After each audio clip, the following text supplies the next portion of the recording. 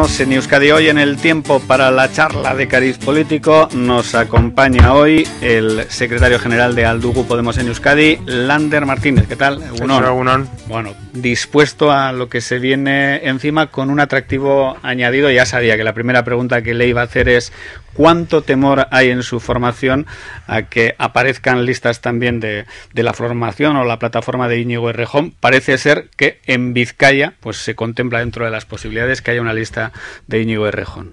Bueno, eh, a día de hoy mm, todo está en el terreno de la especulación.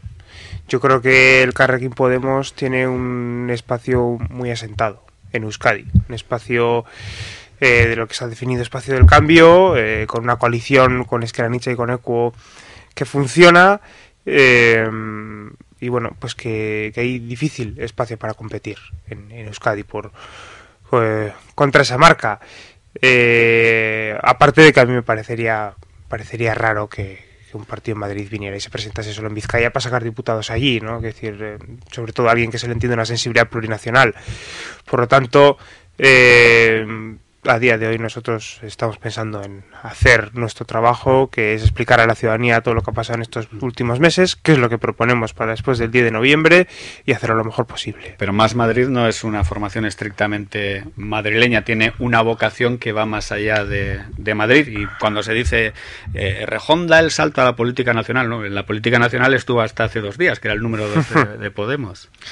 Bueno, tiene una vocación legítima, respetable y veremos cómo la ejecuta. Bueno, parece que su asamblea decidió eso, claro. Que me está también estoy preguntando por, por las intenciones de otro partido que, que yo conozco de manera limitada. Yo lo único que puedo evaluar es, puedo decir que desde aquí mm, nosotros estamos pensando en cómo hacer el mejor trabajo posible desde Podemos y desde el Carrequín Podemos y que poco podemos saber o hacer sobre lo que vaya a suceder con esa formación pero tienen que contemplar un escenario en el que esa formación va a estar presente. Ya no digo en Euskadi, digo en el conjunto de, del Estado también, por cómo puede afectar a, los resultados. Ya acaba de ver el primer paso, ¿no? Valencia Compromís eh, se inclina más del lado mm. de, esa formación que, que, de aquella con la que tenía los lazos más históricos, que es con Podemos. Claro, tenemos que contemplarlo y tenemos que, que evaluarlo, y todo esto influye en, en la campaña o en las previsiones que pueda hacer uno, pero eh, es decir, eh, también la evaluación que hacemos a nivel estatal eh, desde aquí es, limitada porque estamos más centrados en Euskadi, es verdad. Bueno, yo el, sábado ya que se reúne la dirección estatal entiendo que haremos una evaluación más profunda sobre cómo afecta que una nueva formación política que compite por el mismo espacio bueno entre en, la batalla electoral. ya lo dije ayer también en, en otro medio de comunicación. Bueno, pues que eh, dividir el voto siempre es negativo, pero una fuerza política eh, entre a competir eh, no siempre divide el voto, ¿no? Pues depende mucho del territorio, depende mucho de cuántos escaños hay en juego, depende mucho de lo asentada que esté la, fuerza política, en este caso Unidas Podemos, en ese territorio, depende de muchas cosas. Y a día de hoy lo único que sabemos es que hay voluntad de presentarse a unas elecciones al Congreso y poco más. Sí, no, pero con una teoría que es que no van a robar votos a nadie, sino que eh, los van a restar de la abstención. ¿Qué le parece esa teoría? Bueno, que es algo difícil de ejecutar, pero mm, que si es subjetivo, pues me parece, me parece legítimo. Hombre, si eso sucediera, desde luego habría una menor división de voto porque cada uno se dedicaría a su espectro. Eh, aunque yo aspiro, desde luego, a que en Euskadi el Carrequín Podemos eh, no solo eh, consiga que no haya, que no crezca la abstención en el espacio de la izquierda, sino que además recupere votos de una posible abstención que pudo haber de unas elecciones generales a otras a partir de ahí ya digo que es que a día de hoy es muy difícil eh, analizar cuáles son las intenciones cuando de momento lo que sabemos es que es, un escenario lleno de paradojas porque eh, todo esto ocurre de tal manera que después eh, después del 10 de noviembre se supone que la intención es sumar esos votos. Claro. También a, ustedes los que pueda sacar la formación de Íñigo Errejón con los suyos con si quiere el Partido Socialista o si le llega o si no bueno, pues eso es la, vocación que han expresado y, entiendo mm. que, es así. Eh, bueno, ya sabemos cómo funciona el mundo de la política, ya sabemos cómo funcionan los desacuerdos, sabemos cómo funcionan los partidos, a veces hay diferencias, hay cambios, se crean nuevas formaciones, es decir, en mm. Euskadi también sabemos bastante de eso, o, si no... Mm. Eh, y por lo que les toca ya directamente a, ustedes, ¿cómo van a ir obrando? El PNV ya ha, dicho que mm. repite las mismas listas, el Partido Socialista poco más o menos eh, lo mismo, el Partido Popular algo tendrá que, que cambiar, ¿ustedes qué van a hacer?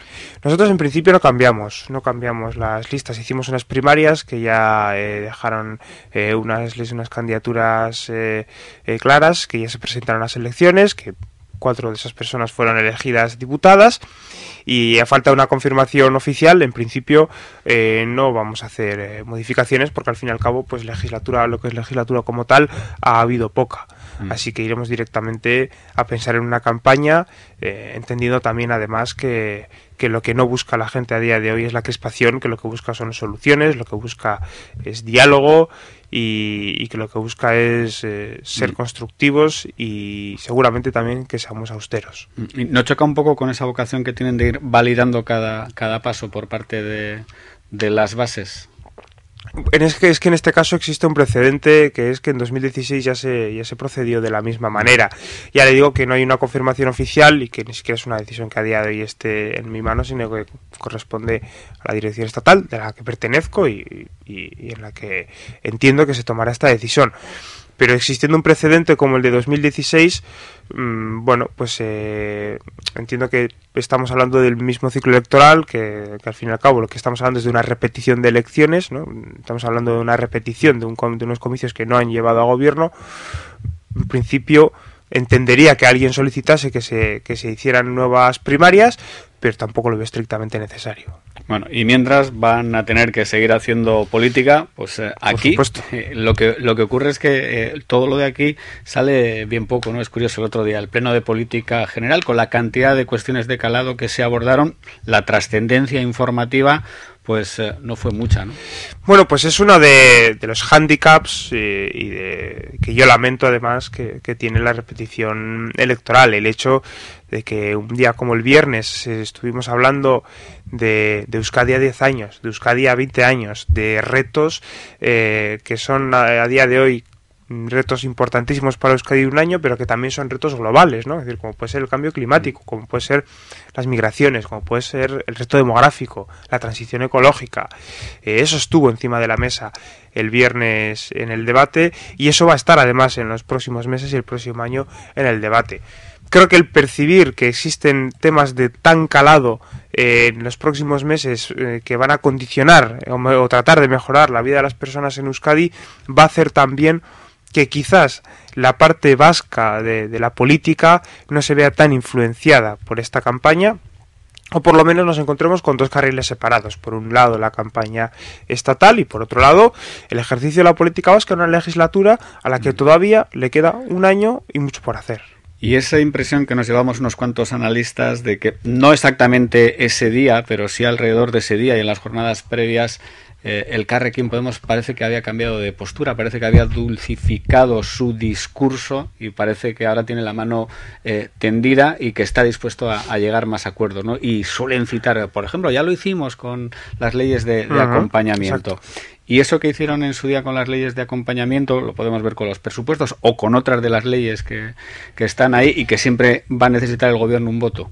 Bueno, como hemos dicho, eh, cuando el gobierno ha estado en disposición de realizar acuerdos, nosotros siempre hemos estado en, en disposición de realizar acuerdos. Existen muchas leyes a día de hoy que están por hacer en el Parlamento, en la que estamos trabajando intensamente, en la que seguramente en algunas lleguemos a acuerdos porque, porque hay una comunicación bastante fluida y, luego hay muchas cuestiones que quedan, que quedan pendientes. Eh, los presupuestos, que es, eh, entiendo, donde más interesa y, sobre todo porque, bueno, al final es la ley que condiciona cómo va a funcionar la política vasca el año que viene, eh, es algo de lo que todavía hemos escuchado, lo hemos visto el tráiler. Hemos visto, vimos las directrices presupuestarias en verano mm. e hicimos una evaluación. Hay temas el, Carrequín el año pasado casi están con, ahí. con el tráiler ya les valió para decir eh, este tren pasa. No estoy de acuerdo. Yo creo que hay que revisar la hemeroteca y, ver también el relato debe de ser cuál, claro luego el relato que queda de, pues evidentemente a veces nosotros no lo dominamos pero nosotros siempre nos hemos sentado a negociar siempre hemos puesto cuantías y siempre hemos puesto propuestas sí que hemos visto también que en este caso eh, algo que nosotros llevamos reclamando varios años que esté en agenda, como son esos temas que he mencionado antes, transición ecológica, igualdad entre mujeres y hombres, igualdad social, etcétera, hoy, hoy está en el centro del debate. Y evidentemente tenemos que abordar esos debates cuando están en el centro y cuando son aquellos temas que el Carrequín Podemos ha exigido que estén en el centro del debate. Por lo tanto, una vez sabemos que eso está en unas directrices presupuestarias, todavía falta más de un mes para ver cuáles van a ser los números reales. que se va a hacer con esos casi 12.000 millones de presupuesto del gobierno vasco que da para hacer muchas cosas? Entonces nosotros no vamos a evaluar el presupuesto ni positiva ni negativamente, sin haber visto nada. Hemos evaluado lo que hemos visto, que son las directrices presupuestarias y que es la agenda política que el viernes escuchamos tanto en nuestro discurso como en el discurso del Endacari. Mm, y más allá de, los presupuestos, hay otras de, las leyes que están o que deberían salir y que el Endacari además dijo que, se comprometía en tratar de hacer que salgan adelante cuantos más proyectos eh, mejor. ¿Alguno de esos podría contar con su apoyo?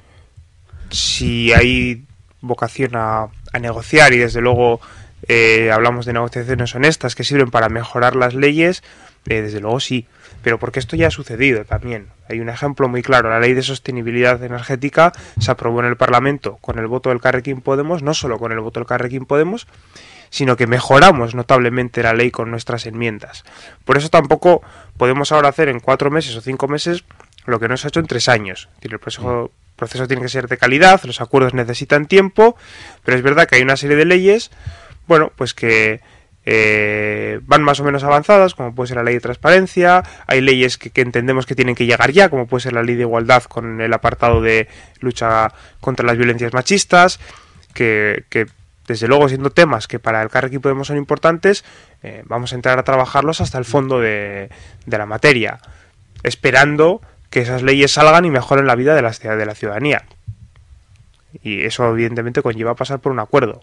Si luego no sale el acuerdo, pues tampoco pasa nada. Pero desde luego el Carrequín Podemos va a estar ahí para tratar de intentar y mejorar esas leyes todo lo posible. Mm, eh, ahora que no nos escucha nadie, para el Carrequín Podemos fue un alivio que al final no hubiera gobierno eh, Podemos o Unidas Podemos eh, Partido Socialista, porque ese acuerdo a lo mejor aquí le hubiera obligado a hacer cosas, pues no sé, como validar una partida para el tren de alta velocidad.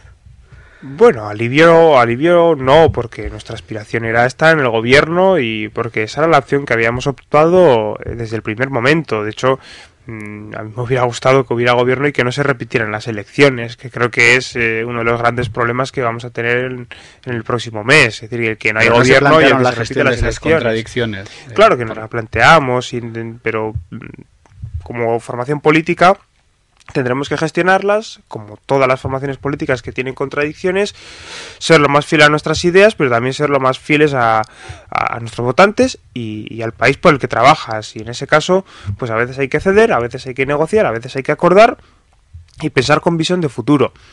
Seguramente nos habremos encontrado con varias contradicciones, pero lo que en correspondía al Carrequín Podemos es seguir trabajando por el carril que venimos trabajando en Euskadi. Y cuando tocara tratar las cosas de Madrid, pues bueno, pues en nuestra organización, por suerte, eh, siempre hemos tenido comunicación bastante fluida y siempre se ha acabado haciendo lo que la organización en Euskadi decidía, como pasó, por ejemplo, cuando se votó la ley del cupo, que nosotros decidimos que tenía que ser un voto afirmativo y eso es lo que hizo Unidas Podemos en el Congreso. Y ahora, después del 10 de noviembre, ¿qué es lo que espera que, pase? Porque eh, todo el mundo tiene una previsión y es que eh, Pedro Sánchez lo va a intentar con Ciudadanos pues es una previsión bastante posible, pero porque Pedro Sánchez tampoco ha ocultado nunca su eh, vocación de pactar con ciudadanos eh, entendiéndolos como una fuerza de centro, cosa que yo pongo en duda, evidentemente. Es decir, ya sabíamos que eso podía, ya pasó en 2016, sabíamos que eso podía suceder ahora y que si no ha sucedido es porque Albert Rivera no le ha dado oportunidad, que en cuanto la ha tenido casi se echa sus brazos, pues por una carta, querido Albert, esas cosas que, que ya conocemos, y que desde luego después del 10 de noviembre podría suceder. Por lo tanto, pues toca una reflexión, sobre todo en el espacio de izquierda, sobre dónde queremos que esté el peso influyente del espacio progresista a la hora de formar un gobierno después del 10 de noviembre. Y ustedes negociaron bien, cree que su formación negoció bien, no le puso las cosas demasiado fáciles, ¿no? En términos de izquierda clásica, no buscó las contradicciones del adversario. Bueno, yo prefiero no pensar en términos de izquierda clásica y, pensar en términos de izquierda del siglo XXI, pero... Eh, Hombre, cuando negocia uno siempre comete errores, es imposible hacer una negociación eh, perfecta y menos en, a ese nivel de tensión. Haber dicho que no en julio fue un error.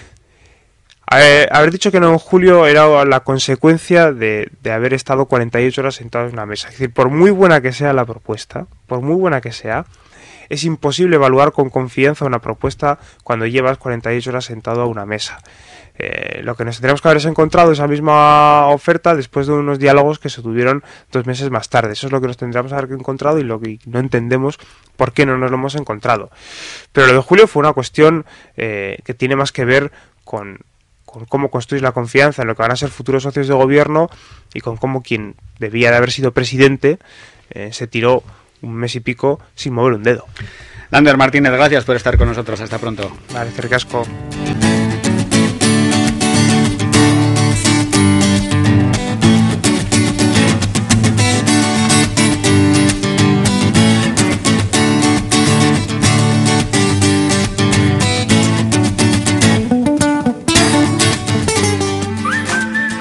Estás en sintonía con Onda Vasca. Esta es la radio con la que cuentas, Onda Vasca. Síguenos en directo y si no, descárgate todos los contenidos en ondavasca.com o en el canal de Onda Vasca en iVoox. Onda Vasca